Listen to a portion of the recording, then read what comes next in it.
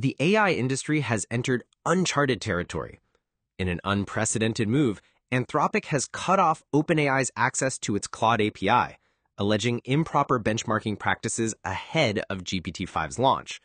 This dramatic escalation reveals the intensifying battle for supremacy in artificial intelligence. Conflict overview. At the heart of this conflict, Anthropic detected unusual API usage patterns from OpenAI engineers, which they claim violates terms prohibiting competitors from using their models for product development. Claude Code, renowned for its superior programming capabilities, became a valuable benchmarking tool that OpenAI allegedly leveraged, until the access was abruptly revoked. Timeline. Let's trace how we got here.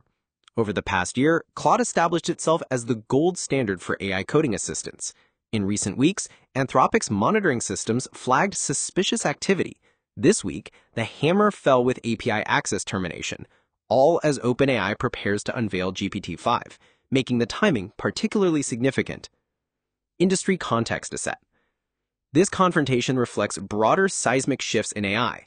Our radar chart shows how industry norms are transforming, while research openness declines, competitive pressures and API controls intensify.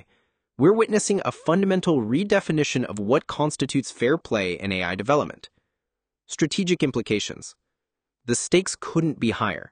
OpenAI loses a crucial benchmarking tool right before launch. The industry gains a precedent for handling competitive intelligence. Developers face new questions about API policies, and legal teams may need to establish clearer rules around benchmarking practices. Final. Are we witnessing the beginning of an AI Cold War?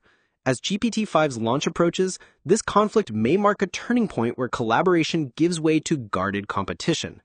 The outcome will shape not just these two companies, but the entire trajectory of artificial intelligence development.